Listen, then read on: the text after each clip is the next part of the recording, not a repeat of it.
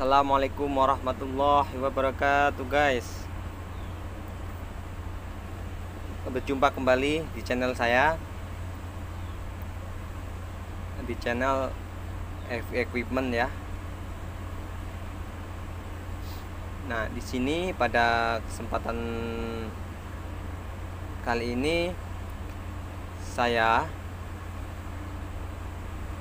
Sebelum memberikan notifikasi tentang perbaikan yang lainnya saya di sini akan mengajarkan kawan-kawan ya tentang apa saja yang ada pada shovel ya atau well loader ini ya. Nah dan ini adalah tutorial dasar ya untuk kalian para pemula-pemula yang sekiranya atau berencana ingin menjadi operator wheel loader ya atau operator shovel ya. Nah eh, pada kesempatan kali ini pada tutorial ini saya eh, memakai loader Caterpillar ya Caterpillar 966E ya. Nah Sebelum kalian belajar tentang wheel loader atau shovel Maka Kalian harus Mengerti dulu Apa pentingnya pengecekan Tentang alat ini ya karena alat ini sangat riskan ya dengan kerusakan ya. Apabila sebelum kita pakai kita tidak cek terlebih dahulu ya.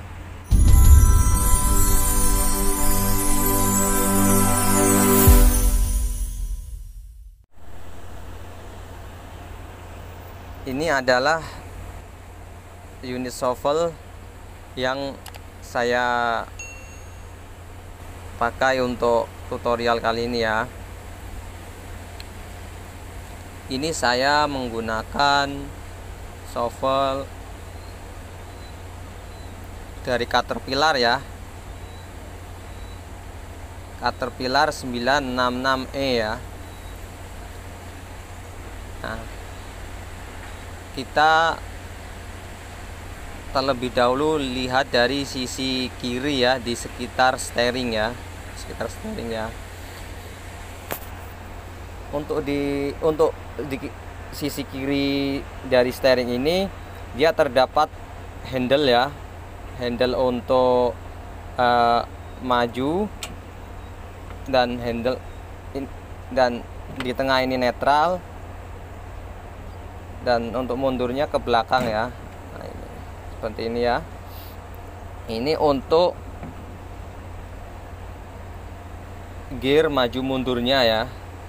Nah untuk perpindahan kecepatannya sendiri di sini menggunakan empat kecepatan ya. Jadi ada kecepatan satu ada kecepatan dua ada kecepatan tiga dan ada kecepatan empat ya. Oke Jadi baik maju ataupun mundur itu bisa pelan dan bisa laju ya atau cepat ya. Ini untuk gearnya ya. Untuk gear maju mundurnya dan gear percepatannya ya. Kalau untuk ini tidak ada ya. Ini kita modif sebelumnya. Dan pada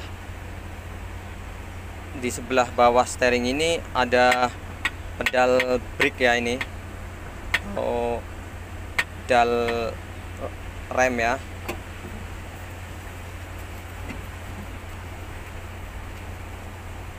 Uh,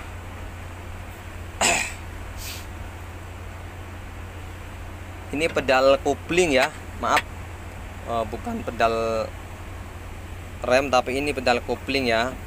Kalau untuk otomatis ataupun yang manual ya. Uh, jadi dia ada beberapa macam ya. Ada yang di dia ini dua-dua ini semua brake ya atau rem ya ada juga yang satu ini dia kopling ya atau clutch ya. Nah ini untuk yang di sisi sebelah kiri ya. Dan yang untuk sisi di sebelah kanan ini di sini sama ya ada remnya atau brake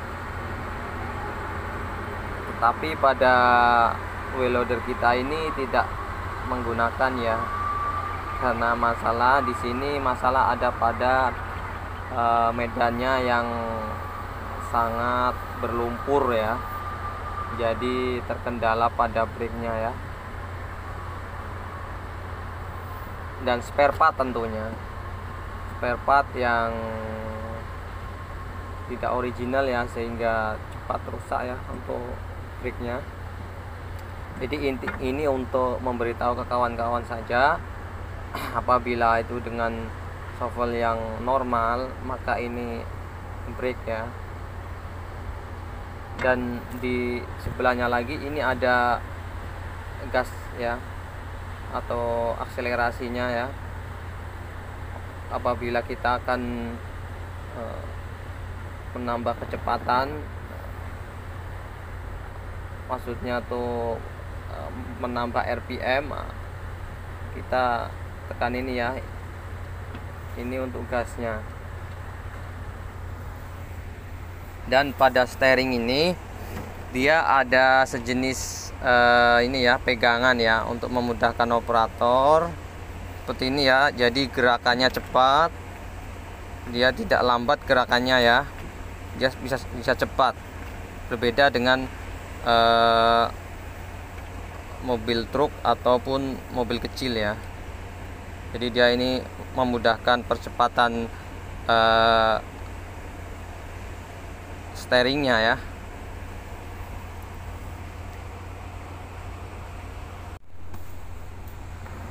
Nah dan uh, pada bagian sebelah kanan di dashboard ini ini seperti biasa ya di sini ada kunci ada kunci di sini ada switch lampu di sini ada horse meter atau kilometernya dan ada juga untuk oh ini untuk ini ya uh, untuk panas mesinnya ya untuk gauge temperaturnya ya. Dan ada juga itu hertz meter ya tapi kita tidak pasang di sini.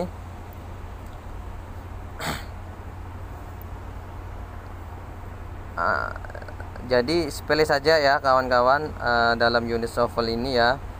Uh, ini kalau untuk unit shovel yang manual ya maksudnya dia ini tidak yang semua elektrik ya. Dan di sebelah depannya agak sampingnya ini. Ini ada tiga stick ya. Tiga stick. Ini tiga stick ini mempunyai fungsi dan tugas masing-masing ya. Kalau untuk stick yang paling kiri sendiri ini ini untuk seperti ini ya. Untuk seperti ini untuk mengangkat kalau pada area kita ini untuk mengangkat kayu ya. Jadi kayu tidak akan jatuh. Ini untuk posisi kita tarik. Maka dia akan seperti ini ya kayu yang kita bawa ya. Dan untuk netralnya kita lepasnya kita lepaskan maka dia akan diam. Nah terus untuk uh, untuk mencurahkan atau untuk membuang loadingan kita nah, maka kita tekan ke depan ya. Seperti ini maka dia akan macam ini ya capitnya ya si pisaunya itu ya. Capit atau pisau lah sebutnya. E, atau kalau itu dia bucket maka itu e, muatan yang ada pada bucketnya itu akan tumpah ya. Nah, ini untuk menumpahkannya ya. Seperti ini ya. Nah, dan ini untuk tengahnya ini ini untuk stick naik turun ya. Jadi apabila kita tekan seperti ini maka hidroliknya akan naik ya akan mengangkat ya. Seperti ini ya akan naik bila kita tarik seperti ini. Dan apabila kita lepaskan seperti ini maka dia akan berhenti ya. Akan netral ya. Dengan posisi kita yang berhenti itu apabila kita posisi berhenti berhentinya kita angkat ya dia akan berhenti di sana. Dan ini untuk maju dia ini untuk menurunkan hidrolik ya. Dia ini untuk menurunkan hidrolik.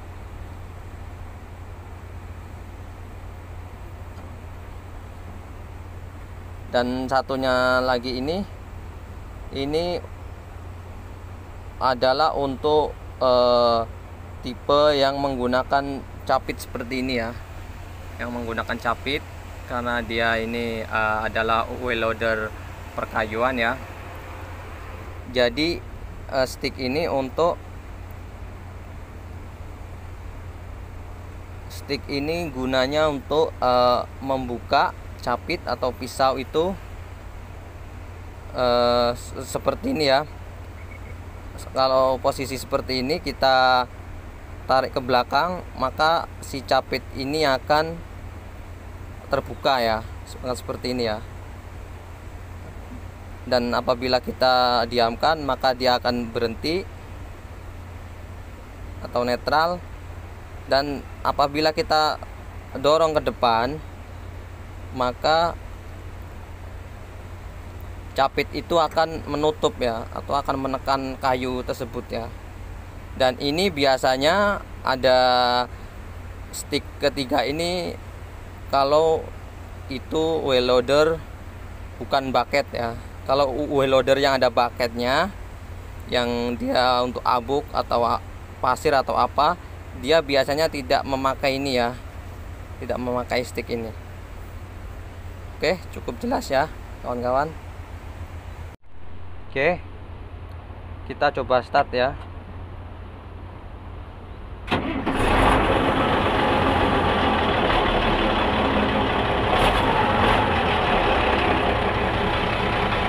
Ini pegangan steeringnya ya. Ini untuk ke kiri seperti biasa. Ke kiri ya dan ini untuk ke kanan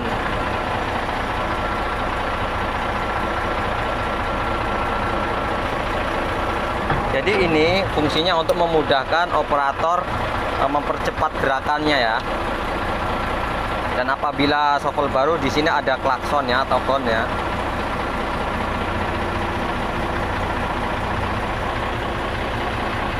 dan untuk stick hidroliknya tiga ini ya. Ini yang saya yang saya maksud dengan uh, stick untuk mengangkat dan menurunkan hidrolik ya. Ini coba kita tarik ya. Ini ya kita tarik ya maka hidrolik pada well loader ini akan naik ya. Unitnya akan naik seperti ini. Nah. Oke ya. Nah untuk yang di sebelahnya ini uh, di sebelah kiri ini adalah untuk kecondongan ya karena ini fungsinya agar saat kita membawa beban atau kayu atau uh, yang baket itu muatan biar itu tidak tumpah ya. Dia seperti ini. Ini untuk kita tarik ya posisi kita tarik. Tarik seperti ini. Nanti ya. Ini untuk posisi kita tarik ya. Maka dia ah. Dia akan naik ke atas ya ini untuk contoh ya. Ini saat kita tarik. Nah dia akan uh, ke atas ya. Ini biasanya ini kita untuk membawa beban ya. Dan untuk yang didorong ke depan ini dia untuk menyondongkan ke bawah ya. Jadi seperti ini. Ya. Dia condong ke bawah ya biasanya inti untuk untuk menumpahkan atau menurunkan beban. Ini kalau untuk yang untuk yang untuk menurunkannya ya.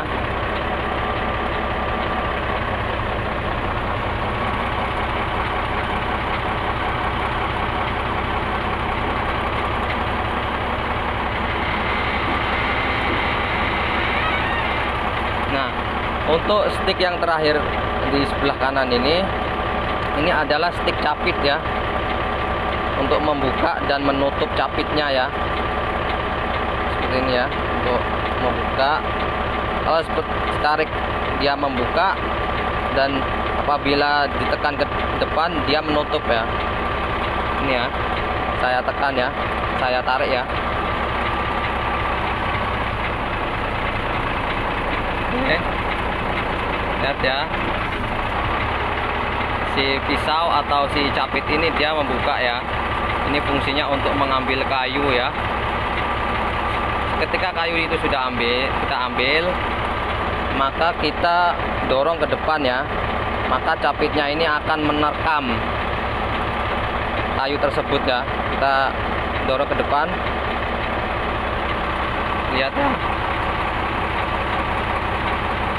Ini untuk kita dorong ke depan maka dia menutup ya atau menerkam apa yang kita bawa ya.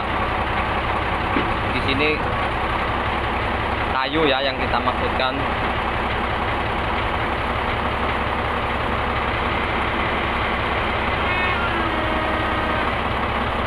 Dan yang ini seperti tadi yang saya maksudkan ini untuk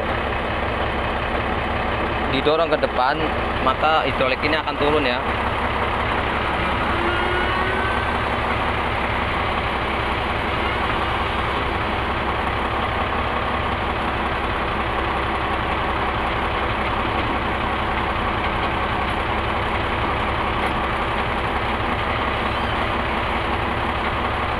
Oke. Dan untuk switch lampu ini ya, untuk switch lampu ya. Dia lampu depan, lampu belakang ini ya.